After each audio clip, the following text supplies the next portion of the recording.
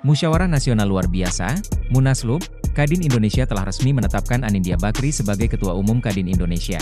Diketahui, kursi Ketua Umum Kadin diduduki Arsjat Rasjid hasil Musyawarah Nasional, Munas, 8 di Kendari, Sulawesi Tenggara, 30 Juni 2021 untuk periode 2021 hingga 2026. Adapun Munaslup Pelengseran Arsjat Rasjid telah terselenggara hari ini, Sabtu, 14 September 2024, di ST Regis, Jakarta Selatan. Munaslup turut dihadiri dari satu perwakilan pemerintahan Presiden Joko Widodo.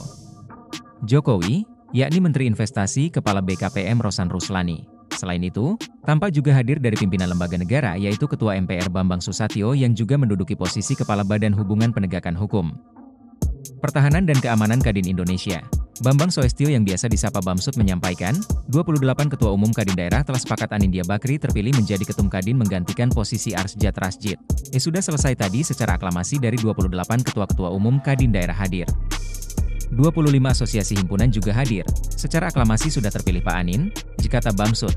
Bamsud mengatakan, gelaran Munaslup Kadin hari ini dinilai tidak melanggar anggaran dasar dan anggaran rumah tangga, ADART.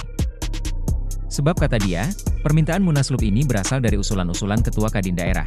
Bamsud menyebut, setelah ditetapkan Anindya Bakri sebagai Ketua Umum Kadin Indonesia berdasarkan hasil Munaslup, maka dirinya akan dilantik secara resmi. Download Tribun X sekarang, menghadirkan lokal menjadi Indonesia.